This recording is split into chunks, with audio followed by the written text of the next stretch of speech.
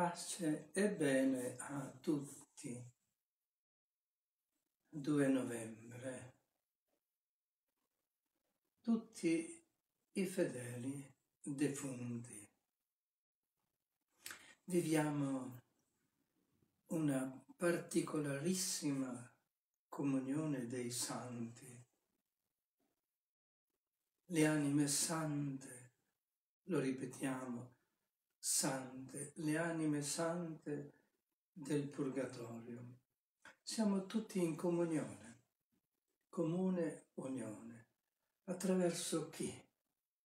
Attraverso Gesù Redentore, il risorto, vicino alla madre del risorto, Maria di Nazareth, tutta rivestita, intrisa di sole, di Dio, lei che pregando il suo figlio intercede per noi e chiede che tutte le anime sante del purgatorio oggi anche attraverso le nostre preghiere, le nostre offerte, soprattutto la preghiera eucaristica, Gesù che attualizza il sacrificio della croce per loro e per noi, Maria presso il cuore di tutti i suoi figli, anche quelli che lei può visitare e accogliere sul suo cuore immacolato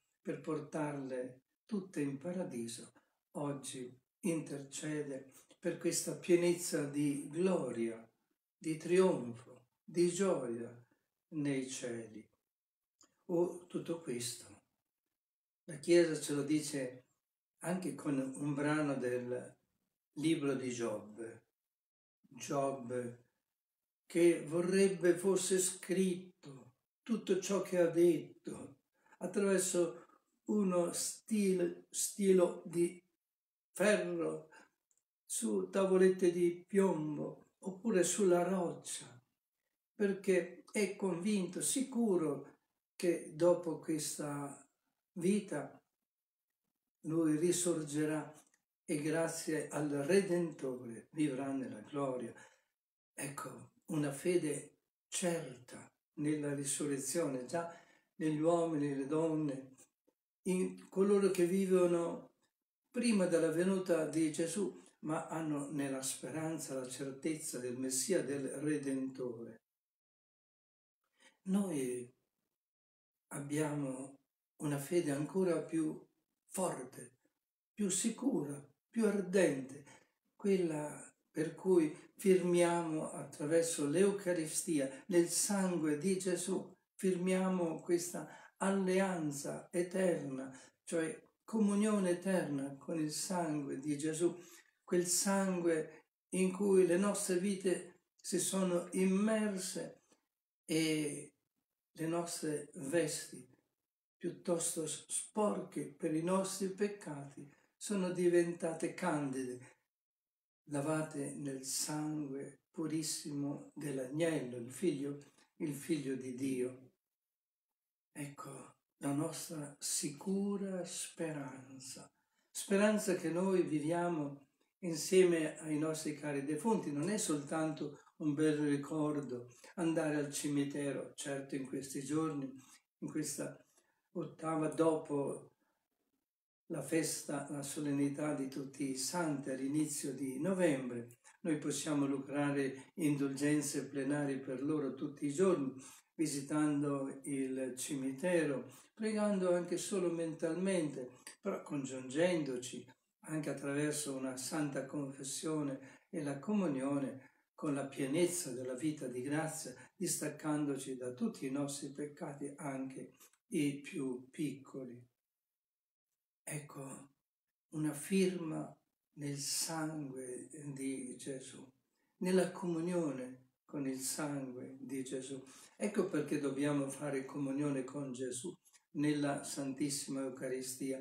Gesù nel suo sangue, nel suo corpo, nella sua persona divina ci mette a contatto con tutti coloro che vivono la comunione dei santi, i santi anche con le anime sante del purgatorio, per cui i loro piccoli beni li possono utilizzare per noi, ma le loro miserie, le loro cadute, i loro peccati, li possiamo per il sangue di Gesù, per la nostra preghiera, la nostra offerta, qualche sacrificio, purificare noi. C'è uno scambio di beni, i loro beni con i nostri beni, è la comunione dei santi. È lo Spirito Santo, che è l'amore ormai è fuso nei nostri cuori che ci mette tutti in contatto, come un flusso continuo di luce. Alle volte noi pensando ai congeni più moderni, vediamo passare un messaggio attraverso particolari sistemi di mail, di luce. Ecco, ma c'è una luce ancora prima prima, quella voluta da Dio. Dio è luce, Gesù è luce e ha messo dentro di noi la luce, lo Spirito Santo che mette in comunione tutti noi e un giorno ci metterà in comunione perpetua, gioiosa in paradiso. Siamo, sì, un'unica cosa con Gesù, con il Padre, con lo Spirito Santo, con Maria, con le sante del paradiso. Che bello avere la compagnia di Santa Teresa d'Avila, di San Francesco, di San Massimiliano Maria Colbe, di Santa Faustina, di Santa Teresina, di Santa Chiara, di Santa Veronica. E siamo in comunione perché Gesù, attraverso il suo sangue, il suo corpo eucaristico, già anticipa in noi questa comunione perpetua che sarà nella eternità. Gesù quella volta, ce lo dice l'Apostolo prediletto San Giovanni, parlava alla folla e diceva, parlando proprio del suo corpo, del suo sangue, dell'Eucaristia, io li risusciterò nell'ultimo giorno se farete già corpo con me sulla terra, sangue con me, cuore con me. Ecco come Gesù ci vuol dire, io ho compiuto tutto questo incarnandomi nella Vergine Maria, io ho fatto una sola cosa con la sua umanità, lei ha dato a me la sua umanità virginale, io ho dato a lei la mia divinità, perché creando così il corpo mistico potessi raggiungere ciascuno di voi e portarvi in paradiso, compreso le anime sante del purgatorio. Preghiamo per loro, uniamoci a loro, dicendo l'eterno riposo, dona loro, Signore, splenda ad essi la luce perpetua, riposino in pace, amen, godano per sempre la pace, la gioia eterna. Gioia perfetta che fu sempre nel cuore immacolato di Maria, anche quando soffriva. C'era una gioia nascosta che in lei diventava speranza nella risurrezione e oggi vive pienamente nella gloria. E là nella gloria tutti la madre attende. Madre nella gloria, madre di ciascuno di noi, riempici attraverso il tuo cuore immacolato, di quella pienezza di vita e di Spirito Santo che tutti ci fa vivere già sin da ora, consacrati a te, nel cielo di Dio, il tuo cuore, bello, purissimo, immacolato.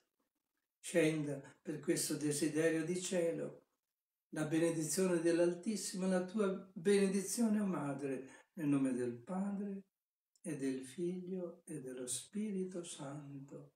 Amen. Uno sguardo a Maria entrare nei cieli dei cieli di Dio. Pace e bene a tutti.